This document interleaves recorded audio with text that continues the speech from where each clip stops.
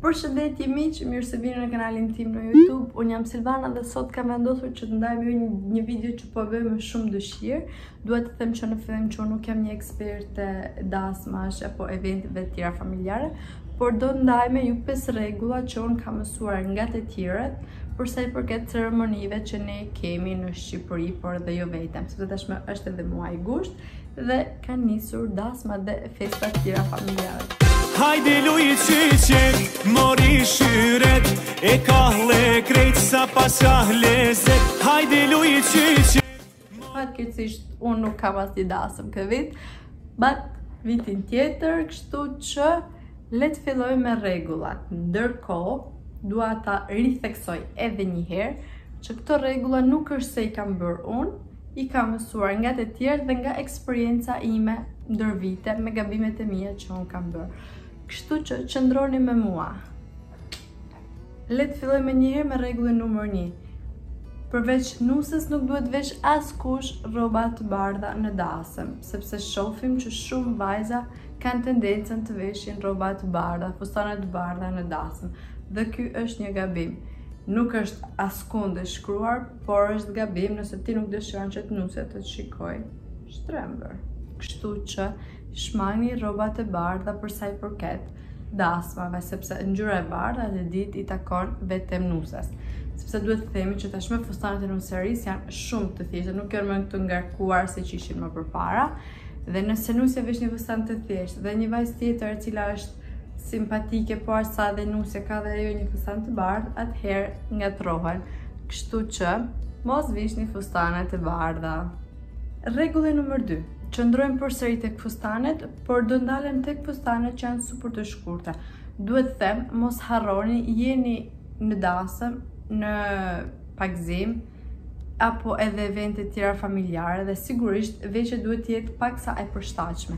Nuk duhet të jetë shumë e shkurtër, sepse për të veshur rroba që kemi shumë të shkurtra, fatmirësisht janë ambiente të tjera që mund të dalim natën nëpër klabe. Kështu që, vajza, mos vishni super të shkurta, të paktën të jenë sipër gjurit. Rregulli numër tre, Ne vajzat e shkurtra kemi shumë problem gjatësinë dhe sigurisht në çdo event duhet të veshim taka. Por, duhet të kujdesemi që të gjejmë takën e duhur sepse në këtë mënyrë mund të ndihemi edhe rahat. Duhet të gjejmë një takë fine, por edhe komode në të njëjtën kohë, sepse në sepse ne duke më përfshirë edhe mua në fund të dasmës, Heqim takat dhe dalim shumë shkurt ta biçe. Kështu që për të shmangur një problem të tillë që bie poshtë pastaj edhe gjithë veshja në momentin që ne kemi hequr takat, duhet gjejmë një tak e cila është më cilësore, ndoshta kushton pak më tepër, por që ja vlen sepse në fund të fundit e blen për ta veshur në një event të rëndësishëm të jetës tënde. Rregulli numër katër, fustanin zgjidheni gjithmonë në bazë të orarit që është dasma apo çdo ceremoni tjetër që do të shkoni, sepse nuk mund të vesh një fustan të gjatë deri në fund të këmbëve, mundësisht edhe ato me bisht, nëse ceremonia fillon në mëngjes herët dhe përfundon në darkë vonë, sepse do të ishte e pamundur që ta përballonit. Kështu që o do të mendonit për një fustan të dytë, ose do lodheshit pa fund. Kështu që mundohuni që fustanin ta zgjidhni sa më të duhurin për ju, që t'ju pëlqejë ju, por sigurisht që t'jetë edhe komod, sepse nëse duhet ta mbani për shumë orë, atëherë do të djersisni pa fund dhe do t'jetë shumë e vështirë për të kërcyer dhe për të bërë qejf. Se ne shqiptarët i duam festat, i duam të gjitha eventet, kështu që për sa i përket fustanit, unë gjatë ditës do preferoja që t'ishte një fustan deri te gjunjët ose edhe i gjatë, por që të ishte i rehatshëm, që të ishte komod dhe nuk dhe të mos më ngatërrohej nëpër këmbë. Por, duke qenë se të gjitha jemi të, të gjitha jemi të ndryshme, gjithsecila e zgjedh fustanin në bazë të preferencës së saj, të stilit të saj e tjera. Por, ju rekomandoj po rikthehem edhe një herë te rregulli që thashë më përpara, jo fustane super të shkurta, sepse në dasëm nuk është diçka e këndshme. Rregulli numër 5, por jo më pak i rëndësishëm, është make-upi dhe flokët. Sigurisht që këto dy elemente duhet të përshtaten patjetër me veshjet, sepse nuk mund të veshësh një fustan i cili është super elegant, dhe pjesa mrapa është e hapur, dhe ti t'i lëshosh flokët, dhe flokët i ke me një gjatësi që arrin deri në mes të shpinës, sepse në këtë mënyrë fustani mbrapa nuk dallohet sepse e mbulojnë plotësisht flokët. Kështu që në këtë rast modeli i flokëve duhet të jetë i mbledhur disi dhe atë mund ta zgjidhni ju.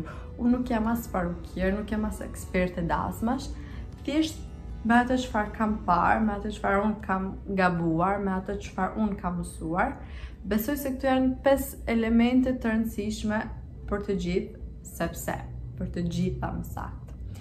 Sepse dasmat janë dasma, janë evente që ne i duam pa fund na vlon gjaku, sepse në fund të fundit jemi shqiptarë, por duhet kemi edhe kujdes për sa i përket veshjes. Veshjes, make-upit, paraqitjes tonë, qëndrimit e tjera e tjera. Uroj që këto pesë rregulla t'ju kenë vlejtur sa do pak. Ju falenderoj shumë që më keni ndjekur. Ju ftoj të bëni like, comment dhe subscribe. Gjithashtu ju ftoj të më ndiqni edhe në Instagramin tim personal Silvana Gjeçaj. Faleminderit. Shifemi tek videoja tjetër. Deri atëherë ja kalofshi sa më mirë. Shifemi tek videoja tjetër. Bye bye.